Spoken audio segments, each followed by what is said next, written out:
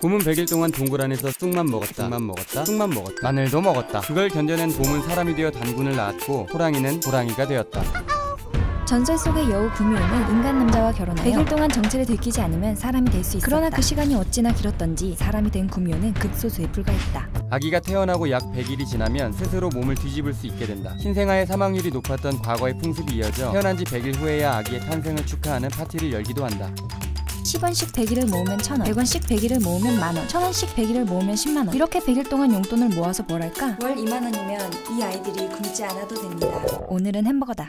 야구 선수는 한 해가 시작되면 약 100일 동안 강도 높은 훈련을 실시한다. 그 훈련을 통해 부족했던 부분을 채우며 시즌을 준비한다. 그 피나는 노력은 4월부터 시작하는 야구 시즌에서 열매를 맺게 된다.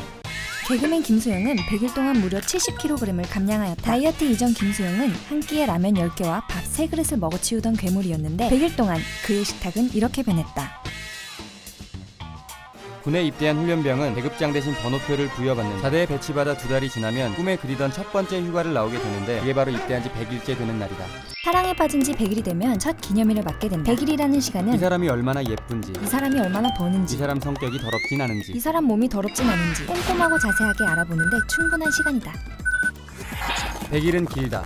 100일이라는 시간 동안 곰이 사람이 되었고 구미호는 사람이 될 뻔했고 아기가 몸을 뒤집었다. 티끌모아 태산을 이뤘고 누군가는 1년을 준비했다. 무려 70kg의 살을 뺐으며 철없는 오빠는 군인이 되었고 남녀가 사랑을 이루었다.